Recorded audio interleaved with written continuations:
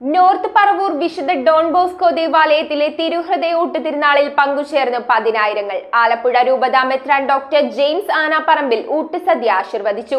ഭക്തി നിർഭരമായ പൊന്തിഫിക്കൽ ദിവ്യബലിയിലും നിരവധി വിശ്വാസികളാണ് പങ്കുചേർന്നത് നോർത്ത് പറവൂർ വിശുദ്ധ ഡോൺ ബോസ്കോ ദേവാലയത്തിൽ തിരുഹൃദയ ഊട്ടുതിരുന്നാൾ ആഘോഷമാക്കി ആലപ്പുഴ രൂപതമെത്രാൻ ഡോക്ടർ ജെയിംസ് ആനാപ്പറമ്പിൽ ഊട്ടുസദ്യ ആശീർവദിച്ചു. തുടർന്ന് അദ്ദേഹത്തിന്റെ മുഖ്യ കാർമ്മികത്വത്തിൽ പൊന്തിഫിക്കൽ ദിവ്യബലി അർപ്പിച്ചു. Lourdes hospital assistant director father Ebin Jose Variyath വചന സന്ദേശം നൽകി. ഇരുപത്തി അയ്യായിരം പേർക്കുള്ള ഊട്ടുസദ്യയാണ് ഒരുക്കിയത്. രാത്രി ഒൻപത് മണിവരെ വിശ്വാസികൾക്ക് ഊട്ടുസദ്യ നൽകിയതായി വികാരി ഫാദർ ജോയ് കല്ലറയ്ക്കൽ അസിസ്റ്റന്റ് വികാരി ഫാദർ നിഖിൽ മുട്ടിക്കൽ കൈക്കാരന്മാരായ Tomy Varghese Koottattu P T Sebastian general convener Tomy Kalathiparambil എന്നിവർ അറിയിച്ചു. തിരുനാളിനോടനുബന്ധമായി നിർധനരായ ക്യാൻസർ രോഗികൾക്കുള്ള ജീവകാരുണ്യ ഫണ്ടും വിദ്യാർത്ഥികൾക്കുള്ള ക്രിസ്റ്റഫർ ജോയ് സ്മാരക സ്കോളർഷിപ്പും വിതരണം ചെയ്തു. Metro seven news Paravur. B A English language and literature administrative assistant B B A P C A B com travel and tourism എന്നീ degree പ്രോഗ്രാമുകളിലേക്കും M com finance and taxation M S W